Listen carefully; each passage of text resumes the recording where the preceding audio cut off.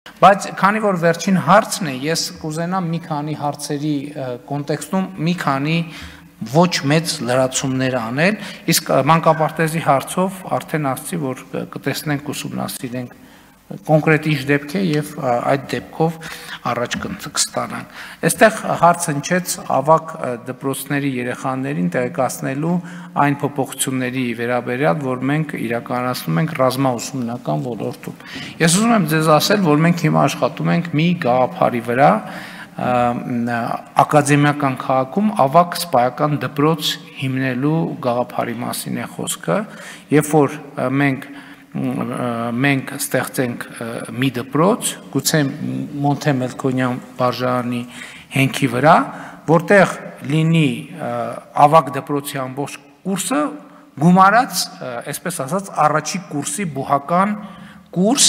որտեղ եւ ընդ որում այդ դպրոցը լինի եւ տղաների եւ աղջիկների համար, սա շատ կարեւոր ներբություն է, որտեղ են երեխաներ, ովքեր մտածում են, որ զինվորական որևէ ծառայության պետք է անցնեն, կլինի դա բանակ, կլինի դա ոստիկանություն, կլինի դա ազգային անվտանգության ծառայություն, կլինի դա քրեակատարող, այսինքն սպայական որևէ աշխատատեղ զբաղեցնել, նախ կան այս այս դպրոցով անցնեն, նախնական պատրաստություն անցնեն, ըստ էության սպայական բարձրագույն առաջին կուրսը ավարտեն, որից հետո արդեն ըստ մասնագիտությունների շարունակեն իրենց ուսուցում, ասենք, ոստիկանական ակադեմիայում, ռազմական համասարանում կամ ազգային անվտանգության ծառայության հետախուզության դպրոցում եւ այսպես շարունակ։ Սա կարծում եմ մի գաղափար է, որի շուրջ մենք պետքա նաեւ իրար հետ մտածենք։ Հաջորդ հարցը, որի շուրջ կուզենայի լրացում անել, վերաբերվում է հավաքական անվտանգության պայմանագրի կազմակերպության Երևանյան գագաթնաժողովին։ Ես ուզում եմ, որ մենք հստակ լինենք։ Ինչ է եղել մեր ակնկալիքը երկու բան, առաջինը ֆիքսել թե Հայաստանի Հանրապետությունում որն է հավաքական անվտանգության կազմակերպության պատասխանատվության գոտին, որովհետև սա սկզբունքային հարց է ճիշտ հարաբերություններ կառուցելու համար։ Երկրորդ ակնկալիքը արդեն ասվեց, եղել է տեղի ունեցածին հստակ քաղաքական գնահատական տալը որովհետև սա ինչու է նաև կարևոր, որովհետև հիշում եք, որ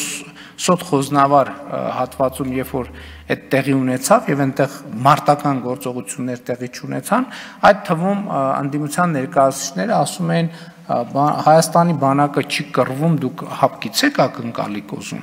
Հետո եկավ նոյեմբերը, երբ որ Հայաստանի բանակը կռվեց, հետո եկավ սեպտեմբերի 13-ը Հայաստանի բանակը կռվեց եւ այդ բանաձևը դուրս եկավ, այդ խնդիրը, մեղադրանքը կամ այդ եւ մենք ակնկալում ենք, որ գնահատական տրվի, թե ինչա տեղի ունեցել։ Հիմա այս կոնտեքստում շատ շեշտվում է, որ մենք օգնության առաջարկ ա եղել եւ մենք հրաժարվել ենք ինչ որ օգնություն։ Սա շատ կարեւոր է parzabanել։ Դեւ այնտեղ կա միտող ցուցաբերել օգնություն, այդ թվում ռազմա տեխնիկական Հայաստանի Հանրապետությանը։ Նախ պարզ չի թե այդ ինչ օգնությունա կոնկրետ առաջարկվում։ Բայց երկրորդը այդ օգնության ընդունումը այս առանց հստակ գնահատականների կնշանակի անուղակի եւ նույնիսկ ուղակի ընդունում այն ստատուս քվոյի, որ հաստատված է մեր սահմաններում։ Եվ առանց հստակ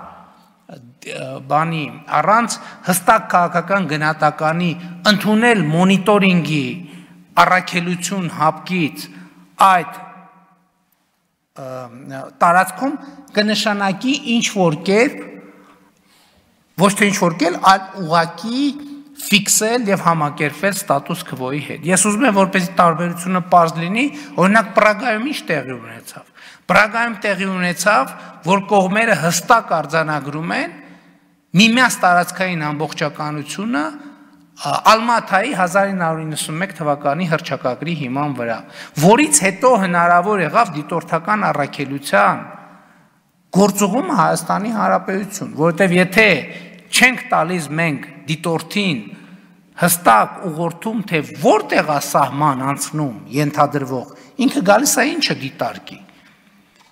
Այսինքն Եվրամիության դիտորդները այսօր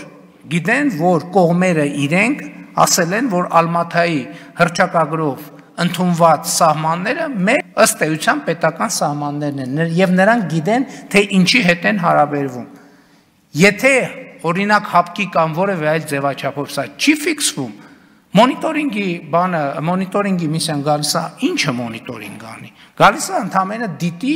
եւ արձանագրի այն ինչ որ տեղի է ունեցել եւ արձանագրի որը ինչ որ տեղի է ունեցել, իսկ այն ինչ որ տեղի է ունեցել, այդքան էլ པարզ չի թե ինչա տեղի ունեցել, որովհետեւ པարզ չի թե որտեղ է անցնում սահմանը եւ հետեւաբար པարզ չի թե որտեղ է հավաքական անվտանգության պայմանագրի գոտին։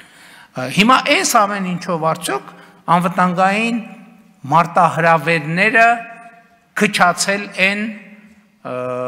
Հայաստանի Հանրապետության շուրջ. Ոչ չեն քչացել։ Արդյոք ավելացել են հնարավոր է նույնիսկ ավելացել են, բայց մեր գնահատականն այն է, որ այս փաստաթղթերը եղած ձևով ընդունելու պարագայում դրանք չէին նվազելու եւ ընդհակառակը առանց որևէ ազդեցության շարունակելու էին աճել եւ սա շատ կարեւոր է այս ամեն ինչը այս նրբությունները արձանագրել, որովհետեւ շատ դեպքերում քննարկումներ են տեղի ունենում եւ շարժումներ են տեղի ունենում եւ ես կարեւոր համարեցի այս նրբությունները բարձրաբանել։ Շնորհակալ եմ։